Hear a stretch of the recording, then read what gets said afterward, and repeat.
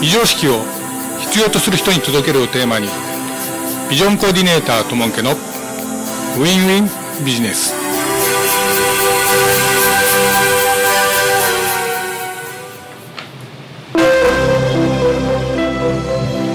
はい、えー、では今日最初のコーナーです、えー、今日のテーマはワープロ感覚で作れるホームページということで、えー、ゲストに IT コンサルタントの増田さんをお迎えしております。こんにちは。こんにちは。はい。そしてあのもうお一方、えー、実際に、えー、この、えー、システムを使われている、えー、ユーザー代表として株式会社パステルラボ代表取締役、えー、伊藤和子さんをお招きしてます。こんにちは。はい伊藤です。こんにちは。よろしくお願いします。はい、はい。えー、増田さん、はい、増田さんはなんかあのインターネットの、えー関係で、えっと、ウ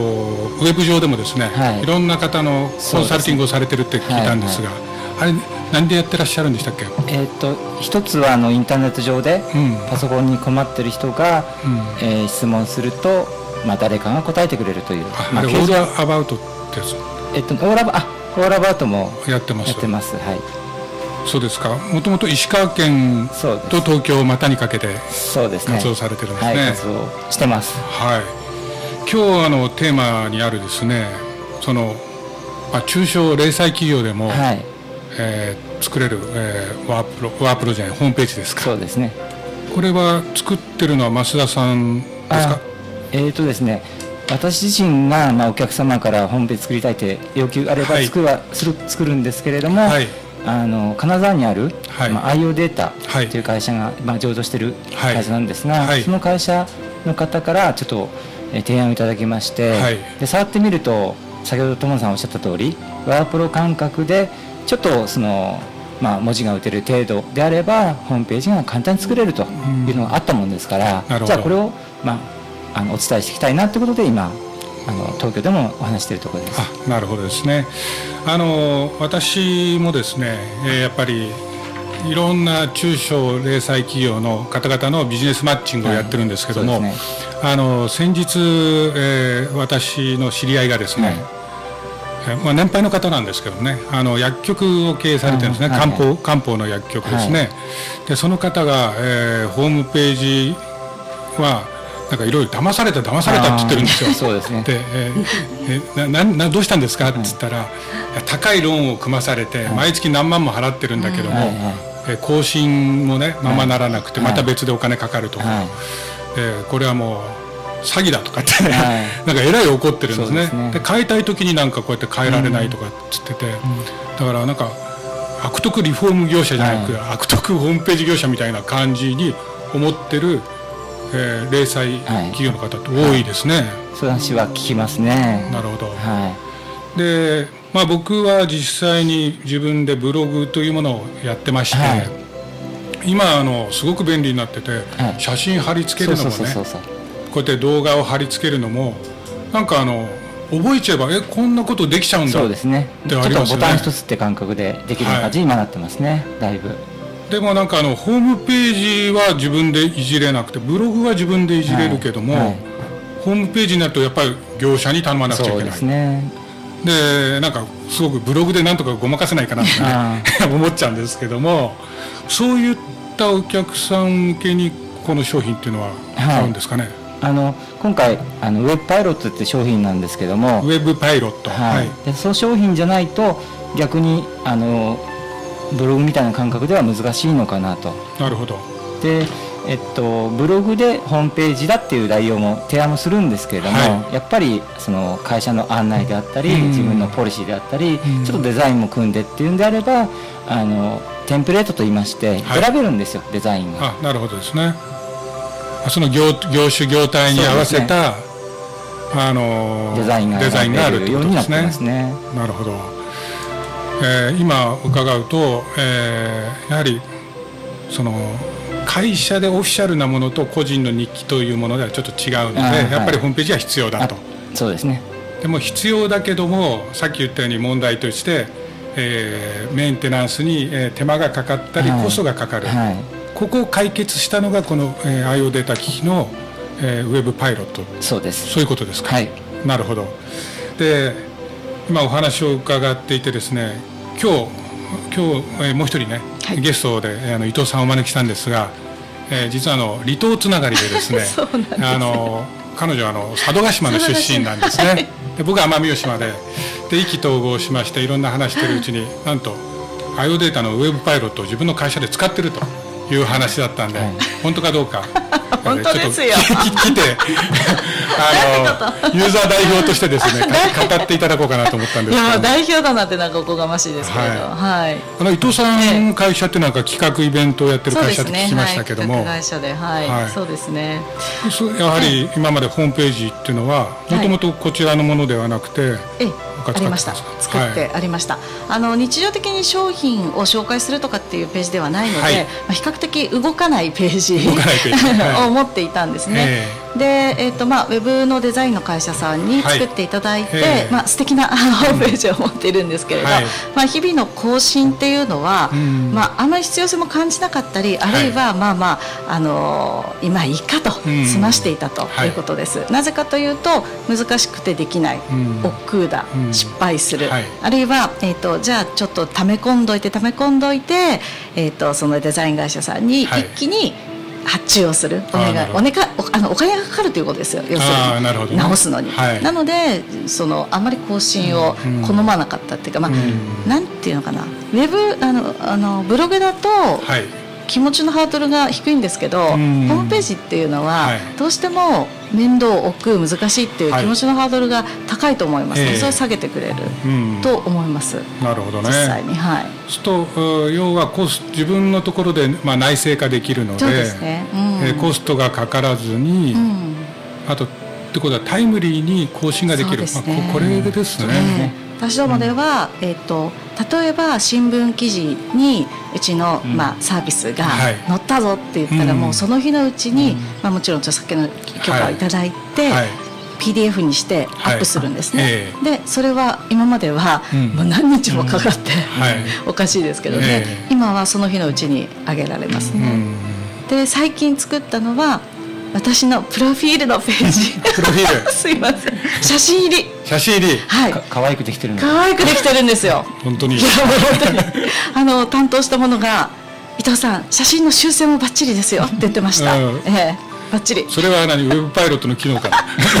機能です機能ですよ。機能機能。えそれでできちゃうそうですそうです、できちゃうの。そうですか。はい、はいじゃあいいですね。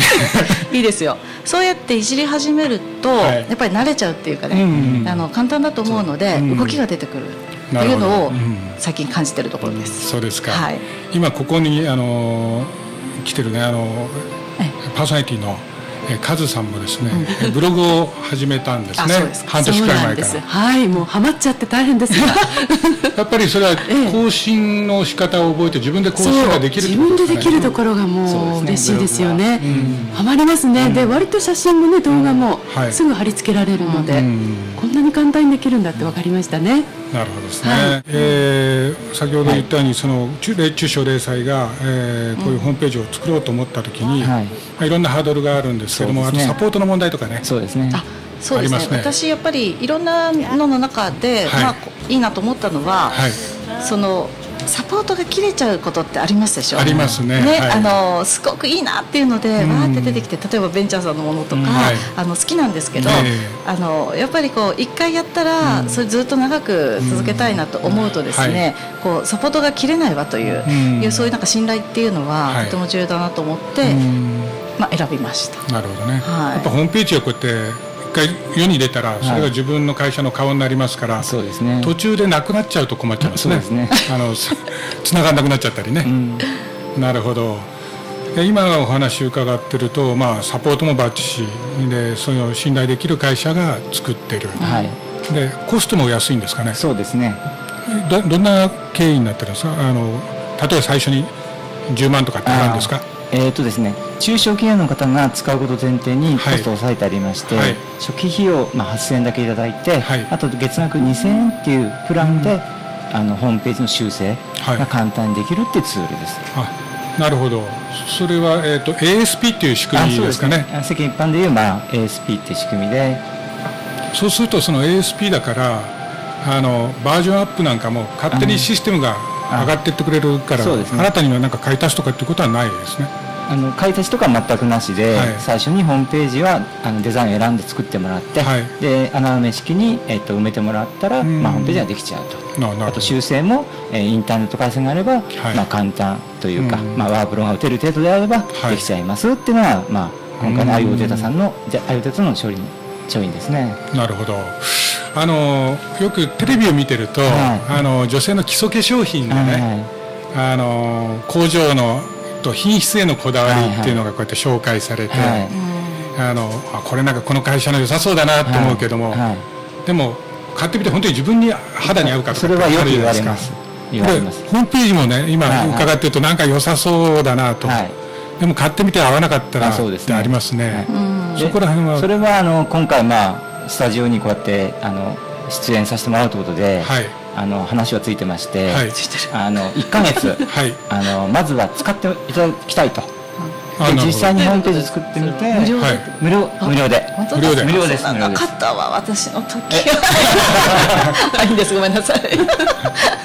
ですので問い合わせはまああのこちらのスタジオの方でってことでちょっとお願いしたいなと思ってるんですけど、なるほど。じゃあこのラジオを聞いてるリスナーの方で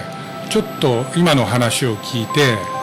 えー、まあねあの通常のコストが初期コストも、はいうん、無料でまず使ってまず使って、でよかったら継続して使いませんか、ね、って契約していただければ。なるほど。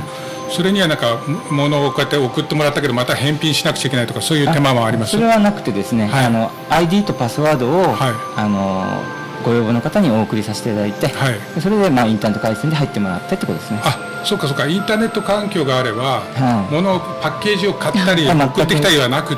てそのキーワードとかパスワードをいただいて使うと。はい、で1か月経ってあの気に入ったら継続して契約と、はい、でもじゃあいいよって言うんだったらもうそのまま使えなくなるだけ、そうです。便利だね、はい、なるほど。はいそうですか。じゃあこちらの方はですね、えーと、レインボータウンの、はい、えー、シンクロプラスの方にメールでもファックスでも結構です、はい、えー、これでも人数の限定ってあります？いや来た方全部受けますので全部受ける。太っ腹です。大丈夫です。わかりました。はい、はい、それではですねあのぜひ、えー、これから自分でホームページを持ちたい。でそれも、えー、コストをかけずに、はいで継続的に自分でメンテナンスができる、ね。うん、まあ、こんなものを探されている方ですね、はい、ぜひお試しいただけたらい。いんじゃないでしょうか。はい、はい、であのまあ、ここの会社 IO データ機器さんのことはですね、はい、インターネット上で調べれば、えー、すぐホームページ出てきますので、また、えー、秋葉原なんかでもですね、えー、ほとんどこ